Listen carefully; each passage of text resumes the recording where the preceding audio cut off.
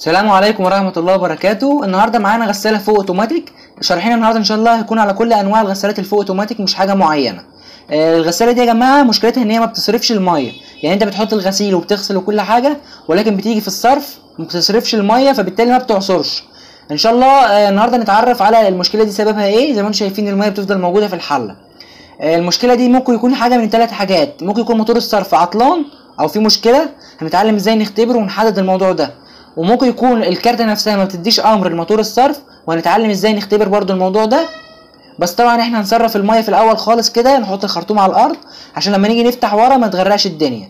وممكن يكون آه، موتور الصرف بالع عملة معدنية أو بالع آه، إبرة أو حاجة زي كده فبالتالي واقف. هنتعلم إزاي نعمل الحاجات دي كلها نفحصها ونعرف المشكلة فين بالظبط وإزاي نصلحها بمنتهى السهولة للمبتدئين. تابعني لنهاية الفيديو.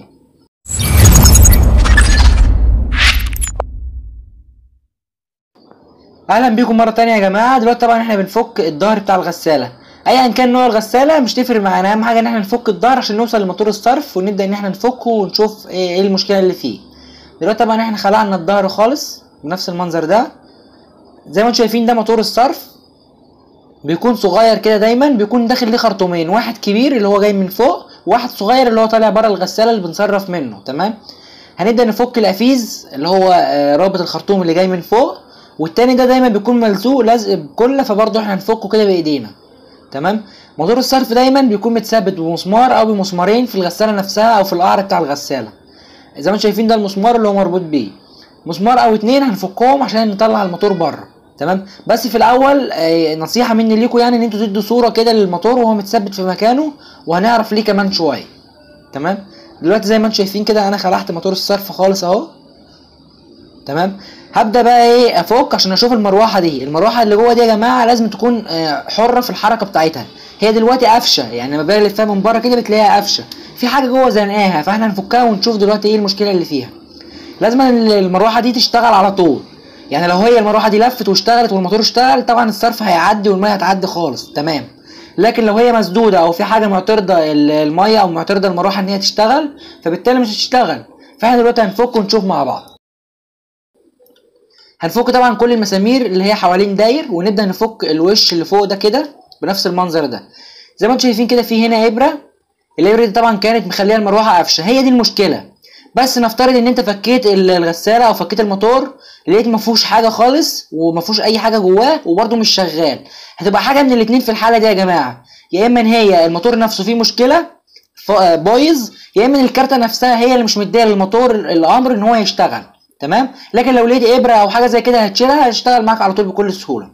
طيب نفترض زي ما قلت لكم إن هي المشكلة آه، إن هو ما فيهوش إبر ولا فيه فلوس ولا فيه أي حاجة وبرده مش شغال. هنبدأ أول حاجة نختبر الموتور ده. اختبار الموتور طبعا يا جماعة بنجيب لمبة السيريا. زي ما أنتم شايفين دي صورة هتوضح لكم إزاي نعمل لمبة السيريا. هنجيب مصباح كهربائي اللي هو بتاع زمان ده تمام؟ ونجيب له دواية بفيشة. الفيشة دي بيبقى لها طبعا طرفين. هنيجي من طرف من الاثنين نقطع منهم طرف. هيطلع معانا الطرفين بنفس المنظر اللي أنتم شايفينه ده. طبعا الطرفين دولت بتوع السيريا لما بنلمسهم على بعض اللمبة عندك هتلاقيها نورت طبعا. تمام؟ دي اللي هنبدأ نقيس بيها الموتور. وممكن تقيسه 220 على طول بس طبعا السيريا كده هيكون أفضل. تمام؟ زي ما أنتم شايفين كده بتلمس على الطرفين اللي هم بتوع الكليبستين الأساسيين بتوع الموتور بتلاقيه اشتغل معاك. معنى كده طالما اشتغل يبقى المشكلة بقى دلوقتي فين؟ في الكارتة نفسها هي اللي مش مديها أمر. هنعرف كمان شوية إزاي نختبر الكارتة. دلوقتي طبعا إحنا هنبدأ نجمع الموتور تاني. عشان كده أنا قلت لك تاخد صورة للموتور وهو راكب. لأن طبعا الموتور ليه اتجاه في تركيب اللي هو الوش اللي هو البلاستيك ده أو الترومبة البلاستيك دي عشان آه اتجاهات الخرطوم. يعني الخرطوم اللي جاي من فوق والخرطوم اللي جاي من بره. فلازم يكون ليه عدلة معينة. هو بيكون بنفس المنظر ده. تمام يا جماعة؟ بس عشان كده أنا قلت لك تاخد ليه صورة لأن طبعا دي هتريحك ولو أنت نسيت هترجع لها وهتعرف هو كان راكب إزاي. بعد ما ظبطت نفس الاتجاه هتبدأ بقى تضم الغطا على بعضيه كده وهتجيب طبعا المسامير بتاعته وتبدأ إن أنت تربطها عادي خالص. أهم حاجة بقى هنخلي بالنا منها دلوقتي إن هي آه، في حديدة بتركب اللي هو بتثبت منها الموتور نفسه. تمام؟ هنبدأ إن إحنا هنظبطها نركبها في مكانها.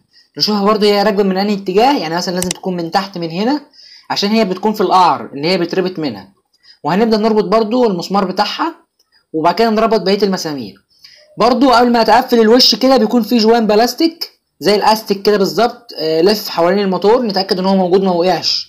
عشان ده لو مش موجود آه، بعد كده هتلاقي الموتور ده طبعا بيخر مية وكده. فلازم نتأكد من كل الحاجات دي.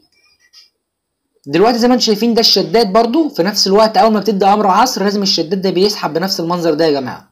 وهتلاقي برضو موتور الصرف اشتغل معاك في نفس الوقت. زي ما أنتم شايفين المروحة شغالة كده ما فيهاش مشاكل يعني هي كانت مشكلتها الإبرة بس. خلاص؟ زي ما قلت لكم الشداد برضو شغال. لما بفصل هتلاقيه فصل مرة واحدة. يعني لما بتدي الغسالة فصل هتلاقي طبعا الشداد ده رجع. ده برضو ضروري إن هو يكون بيشد. لو ما بيشدش ممكن يكون في مشكلة تاني في الشداد. دي مش موضوعنا النهارده. بس تأكد إن هي بتشد كده. تمام يا جماعة؟ دلوقتي طبعا إحنا بنركب الخرطومين. ركبنا اللي من فوق واللي من تحت. هنا برضو في مشكلة تاني في الغسالة دي إن هي المية بتخش لها ضعيفة. أو كمية المية اللي بتملى بتكون ضعيفة وهي بره بتكون شغالة كويس المية.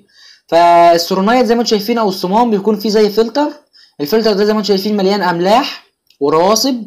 آه فدي طبعا إحنا بنفكه كده بنفس المنظر ده نسحبه ننضفه وبنرجعه تاني.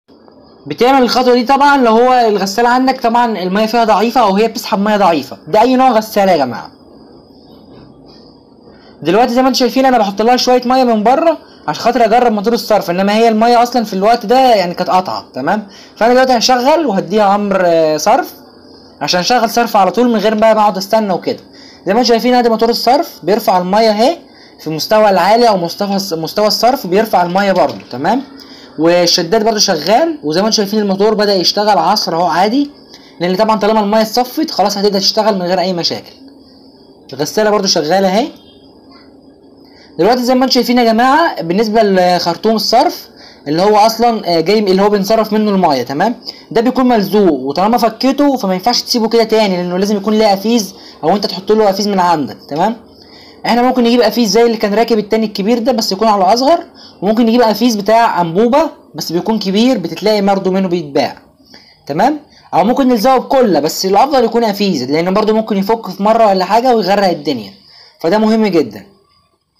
دلوقتي إحنا عايزين نعرف آه، هل الكارته بتدي أمر للموتور ولا لا؟ تمام؟ هنفك الكليبستين بتوعه زي كده ونجيب آه، اللمبة أي لمبة عادية بأي دواية يكون لها سلكين تمام؟ ونربط السلكين بتوع اللمبة في السلكين بتوع موتور الصرف. ده ليه بقى يا جماعة هنعمل الخطوة دي؟ لو انت فكيت موتور الصرف لقيت ما فيهوش أي فلوس أو أي حاجة ومع ذلك مش شغال. قسته بره لقيته شغال. يبقى كده المشكلة ممكن تكون إن الكارتة مش مديه أمر لموتور الصرف عشان يشتغل. فاحنا لازم نتأكد من الخطوة اللي إحنا هنعملها دي. هتعرفنا إذا كانت الكارته بتدي أمر ولا لأ. لو الكارته ما بتديش أمر هنعرف برضه. تمام؟ دلوقتي أنا هبدأ أشغل عصر عادي خالص وهدوس start واشوف زي ما أنتم شايفين اللمبة نورت. طالما اللمبة نورت معايا بنفس الشكل ده معنى كده إن الكارته سليمه بتدي أمر. لو الكارته ما ادتش أمر وما نورتش يبقى الكارته فيها مشكلة. تمام؟ هبدأ دلوقتي أركب الكليبسات تاني بعد ما اطمنت خلاص. تمام؟ لو الكارته فيها مشكلة ممكن توديها وسط البلد عند أي حد آه، الناس اللي بتصلح الكارتات هيعملها لك على طول وأنت واقف يعني. هتقول له اللي فيها كذا كذا هيعملها لك. دلوقتي طبعا إحنا بنثبت الموتور نربط المسمار تاني. ده مهم جدا ما ينفعش نسيبه سايب كده عشان ما يبقاش فيه أي مشاكل. هنثبته كويس لو مسمار واحد مش مشكلة عادي يعني مش شرط يكونوا اتنين. كده أنتوا زي ما أنتوا شايفين أنا آه، ربطته أهو وثابت كويس في مكانه. هنبدا دلوقتي عادي خالص إن إحنا نقفل الظهر طبعا هو بيركب بكليبسات كليبسات بتركب من فوق وبتيجي انت تاني من النص ومركب الكليبسات اللي من تحت. بعد كده بتربط المسمارين اللي هما من على الجناب. عادي خالص مفيش أي مشاكل. زي ما قلت لكم تبدأوا كده الفحص زي ما قلت لكم واحدة واحدة. تبدأوا تشوفوا هل في آه، رواسب ولا حاجة. لو ما لقيتش رواسب تبص بعد كده على آه، موتور الصرف تقيسه بره. لقيته شغال بعد كده تبص على الكارت آخر حاجة تفحصها باللمبة زي ما قلت لك كده. عادي لو الكارت فيها مشكلة تتصلح. موتور خرطوم الصرف مهم إن هو يكون متعلق في منسوب عالي بحيث إن المية اللي تحطها ما تنزلش لوحدها. تمام؟ كده الغسالة خلاص تمام. نتمنى تكونوا استفدتوا وعجبكم الشرح. لو استفدتوا اعملوا لنا اشتراك في القناة وفعلوا زر الجرس على الكل واضغطوا لايك. انتظرونا الفترة الجاية في مزيد من الفيديوهات. سلام عليكم ورحمة الله وبركاته.